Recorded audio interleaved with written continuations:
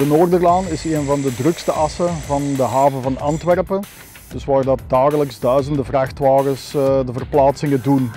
Uh, deze werd eigenlijk in één richting afgesloten, de andere richting werd omgeleid. Ook het kruispunt met de Zomerweg werd heringericht. Naar veiligheid toe een hele verbetering, ook voor de zwakke weggebruiker.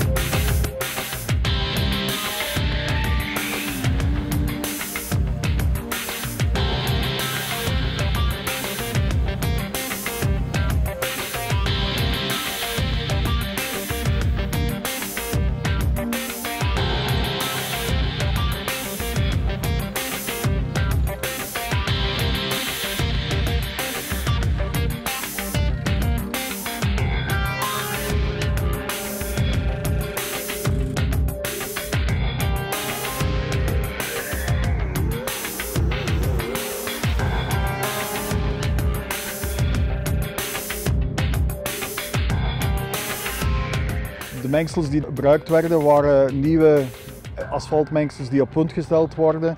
Eigenlijk voor de verlaging van de CO2-afdruk, eh, dus met verlaagde temperaturen.